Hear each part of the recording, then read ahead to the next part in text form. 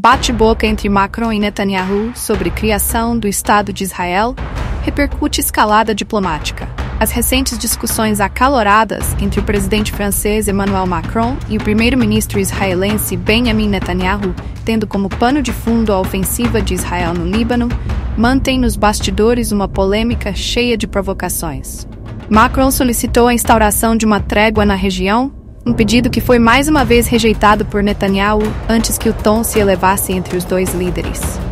No tiroteio verbal, sobrou até para as origens da criação do Estado de Israel. A temperatura nas relações bilaterais despencou drasticamente há 10 dias, quando Emmanuel Macron pediu o fim do fornecimento de armas para os combates em Gaza. Na terça-feira, 15, as relações se esfriaram ainda mais com a frase que o presidente francês teria supostamente proferido durante o Conselho de Ministros na França. Netanyahu não deve esquecer que seu país foi criado por uma decisão da ONU e, consequentemente, este não é o momento de desconsiderar as decisões da ONU, teria dito o chefe de Estado, uma declaração amplamente repercutida na França e no mundo. A decisão que Macron se refere é a Resolução 181, adotada pela Assembleia Geral das Nações Unidas em novembro de 1947, no pós-Segunda Guerra Mundial, que prevê a criação de um Estado judeu e de um Estado árabe no Oriente Médio. O presidente francês teria, através da suposta declaração, não desmentida pelo Palácio do Eliseu, feito uma crítica ao polêmico posicionamento do líder israelense na última Assembleia Geral da ONU, quando chegou a desdenhar da organização e também das declarações de Netanyahu, exortando as Nações Unidas a protegerem suas forças de paz, UNIFIL, no Oriente Médio, porque sua presença atrapalharia o resgate de reféns. Vídeo relacionado: Netanyahu diz a Macron que se opõe a cessar-fogo unilateral no Líbano. Reações fortes de Netanyahu e do CRIF, furioso. O primeiro-ministro israelense respondeu imediatamente em um comunicado à imprensa. Não foi a decisão da ONU que deu origem ao Estado de Israel? disse Netanyahu. Mas a vitória alcançada na guerra de independência por combatentes heróicos, incluindo muitos sobreviventes do Holocausto, inclusive do regime de Vichy na França uma formulação deliberadamente mordaz, acompanhada de uma referência ao doloroso passado dos judeus da França. O episódio conhecido como o Regime de Vichy, cuja memória ainda causa desconforto nos franceses, foi o sistema político autoritário e colaboracionista de autoridades francesas da época com a Alemanha nazista.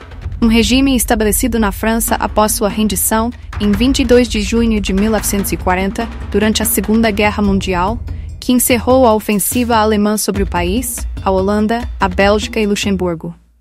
Milhares de judeus franceses foram deportados sob o regime de Vichy para os campos de concentração de Hitler, sob o olhar complacente das autoridades francesas da época. Um regime estabelecido na França após sua rendição em 22 de junho de 1940, durante a Segunda Guerra Mundial, que encerrou a ofensiva alemã sobre o país, a Holanda, a Bélgica e Luxemburgo. Milhares de judeus franceses foram deportados sob o regime de Vichy para os campos de concentração de Hitler, sob o olhar complacente das autoridades francesas da época. Das autoridades francesas da época. O presidente do Conselho Representativo das Instituições Judaicas na França, Jonathan Arfi, também reagiu em sua conta no X, adotando a mesma linha de Netanyahu. As observações atribuídas ao presidente da República, se confirmadas, são histórica e politicamente erradas. Sugerir que a criação do Estado de Israel foi o resultado de uma decisão política da ONU é ignorar a história centenária do sionismo, a aspiração milenar dos judeus de retornar a Sião e o sacrifício de milhares deles para estabelecer o Estado de Israel, declarou. Revolta também entre os políticos franceses. A suposta declaração de Emmanuel Macron ao Conselho de Ministros também provocou indignação na classe política francesa, e particularmente dentro das fileiras do próprio campo presidencial. A deputada Caroline Yadan disse que estava escandalizada com tamanha incoerência, capitulação e falta de visão. Outros parlamentares preferem permanecer em silêncio para não demonstrar publicamente sua discordância com o chefe de Estado. O ex-primeiro-ministro Manuel Valls falou sobre erros e equívocos políticos, estratégicos e éticos que enfraqueceram a voz da França desde os ataques do Hamas. O partido de extrema-direita, Reunião Nacional, também atacou duramente Emmanuel Macron. Esse tipo de declaração em relação a um país amigo é um erro inaceitável, escreveu o deputado do RN, Sebastian Schmidt. Por outro lado, na esquerda, os comentários do presidente foram bem recebidos, mas sem nenhum apoio explícito.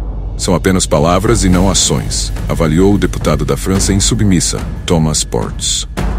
No Palácio do Eliseu, tentativas estão sendo feitas para acalmar a situação. O chefe de Estado francês se reuniu com o primeiro-ministro israelense na noite de terça, em uma conversa aparentemente mais tranquila. Macron condenou os ataques israelenses indiscriminados, que só aumentam o um número já insuportável de vítimas, tanto em Gaza quanto no Líbano. O chefe de Estado, mais uma vez, pediu um cessar-fogo em Gaza e no Líbano, impossível de acordo com Benjamin Netanyahu, que insistiu que um cessar-fogo unilateral não mudaria a situação de segurança no Líbano. Em seguida, foi divulgado um comunicado à imprensa, no qual Macron reiterou o compromisso da França com a segurança de Israel, sem voltar à história da criação do Estado israelense. Netanyahu, que insistiu que um cessar-fogo unilateral não mudaria a situação de segurança no Líbano.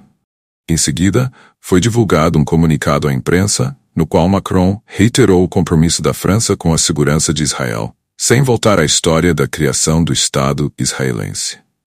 Estado israelense